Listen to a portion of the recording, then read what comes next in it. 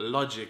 If you use logic predicting the Premier League table, you ain't gonna get it right. You need some madness in there. You need some crazy, bold predictions because the Premier League, in my opinion, is just as mad as a bucket full of frogs. Coming up, I'm gonna give you my bold Premier League predictions for the upcoming season. Here we go, relegation, the bottom three, 20th spot, Sheffield United. I know they just came up, but I reckon they're going back down. 19th position, they've stayed here for two years, they're going back down, Brighton. And going down with them is another newly promoted team, Norwich. They scored a lot of goals. Uh, to get them up from last year, but I think this year they're going to struggle their defence and they're going to go straight back down. Surviving the relegation is Southampton. I think they're going to do just enough just to stay up. And then we've got Newcastle. I'm tipping Newcastle to have a shocker of a season. All that that that stuff with uh, Rafa Benitez. There's just a lot of bad vibes about that club at the minute. Steve Bruce, can he do it? I don't think he's got enough to do much with him, to be honest. And to be honest, they've bought okay. I don't think they've bought that well. So I think they're going to struggle this season. 15th position, I got Crystal Palace again. I think they're going to have, uh, they're going to struggle. Aaron Wan-Bissaka going to United. That's going to be a big loss. They kept Wilfried Zaha, but how much does he actually want to be there?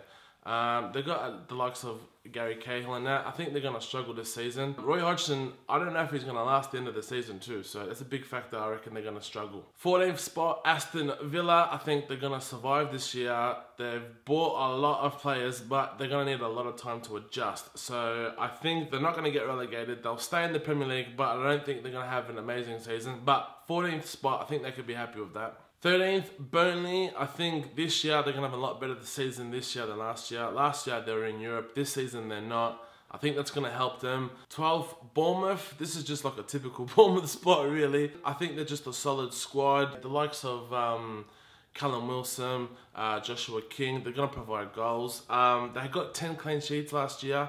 So the defense is okay. I think they're just going to be another mid-table club. 11th, I've gone with West Ham. Again, they lost Arnautovic, but they've bought well. They seem to be buying a lot of players every year. I think now with a few seasons at the Olympic Stadium, I think they're going to kick on a little bit, but I've got them finishing in 11th spot. 10th is Watford. Now, Watford had a fantastic season last year, and I think they're going to continue. They got that guy this year, Daniel Welbeck. Um, they bought okay. They got to the final of the FA Cup. They did all right. I think they're gonna they're gonna kick on from that. They're gonna steady on and finish mid-table. Now ninth spot, I've got Wolves. Now Wolves, I would have predicted this year that they would have finished in the top six, but this year they've got the Europa League, which you all know. So I think that's gonna hinder them a lot quality side. I rate them a lot, very highly.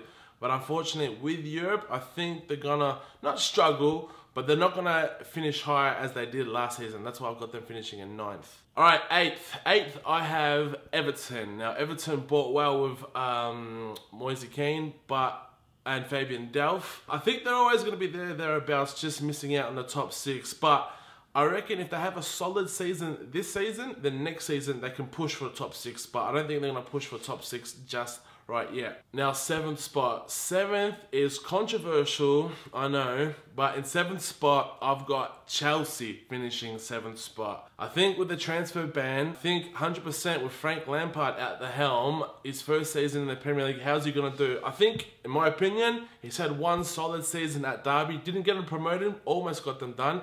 I think he's going to struggle. I think he will struggle against the big six teams. And I think, you know, no strikers. I know they've got Giroud, Abraham, and Batshuayi and all that, but I think they're just going to struggle. Losing the likes of Hazard and not replacing him is just massive. So that's why I got them finishing in seventh. Six, I have Leicester. Leicester City, they surprised us a few years ago when they won the league. Ain't nobody predicted that but I'm predicting them to have a solid, solid season. I think Brendan Rodgers is going to have a good preseason. I think they've had a good preseason, but I think he's going to have a great season. Jamie Vardy, I'm tipping to have a good year.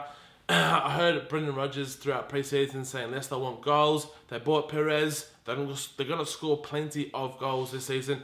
They did lose the likes of Harry Maguire, which I think is uh, huge for him but I think they're still going to have a successful season. Now, coming down to fifth, we all know that predicting the top six hard, but making that Champions League or just missing out on that Champions League is going to be hard. So, in fifth spot, I've got Arsenal. And in fourth spot, I've got United.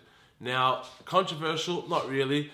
Arsenal, look, they're both just as shit as each other, if you ask me, my honest, true opinions. But I just think the lesser shit of the two is United. I think United, they've done well to buy, uh, sort out the defence. Harry Maguire, uh, Maguire, 80 million, not worth the money at all. But he does fill a plug United need. We needed a centre half.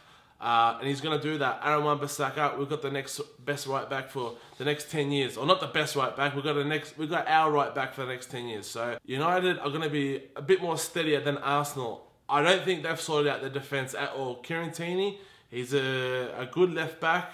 Is he going to do it in the Premier League? I don't think so in the first season. Yeah, he will be good in the future. I just not think for this season.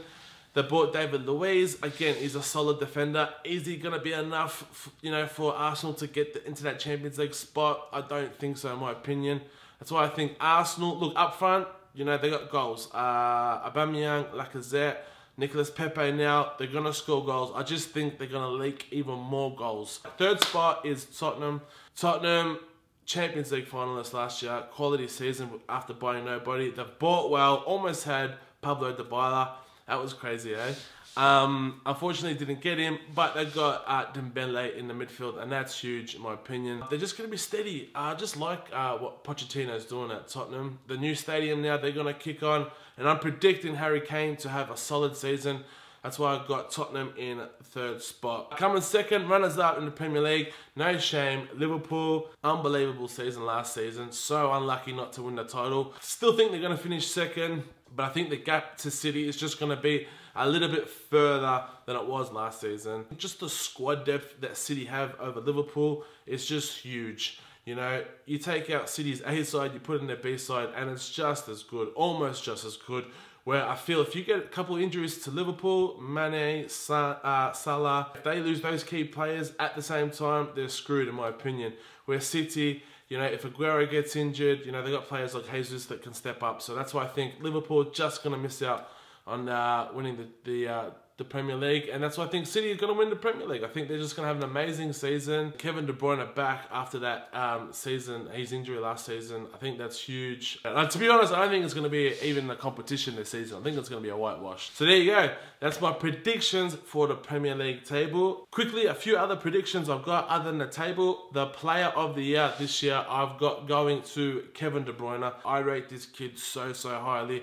And I think City you know, whitewashing everyone this season. They're going to be dominating left, right, centre, and I think he's going to be at the centre of that. I think he's going to be the general. You know, he got injured last year, uh, last season. He was out for most of it. This season, he's come back with a vengeance.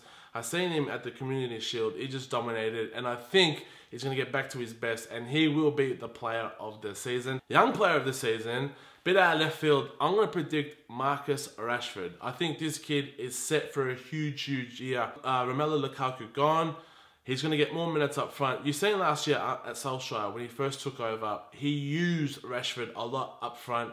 Uh, and basically just used him until he got injured. And when he was injured, he was still playing. I guess that was due for the lack of bad performances Rashford had, but I think now that he's had a full preseason, he's gotten fitter, I think um, Solskjaer is going to be using Rashford as his main man up front, if not to the left, but he's going to be having a lot more game time. Another season under the belt in the Premier League. I think he's going to have a blinder, and I think it's going to be his breakout season. So, young player of the year for Marcus Rashford. Manager of the year, I'm going to go to Pep Guardiola. Obviously, no big surprise. I think City are going to dominate, but out of left field, I'm going to say if it's not Pep Guardiola, Brendan Rodgers. I tip Leicester to have an unbelievable season and that's because of the uh, mastermind of Brendan Rodgers. I think he's going to have a great season. It's a bit of a bold one, but I think Leicester are in for a big season, and Brendan Rodgers, you know, I think he's going to have an unbelievable season. All right, the Golden Boot, I'm going to give it to Jamie Vardy this season. Like I said, I keep hearing on Leicester's going to have a good season, and it's going to be because of Jamie Vardy. I think Jamie Vardy is going to be central. It's going to be the focus point of that forward up front. So he's going to score a lot of goals. And the only person to rival him for the Golden Boot, in my opinion, will be Harry Kane.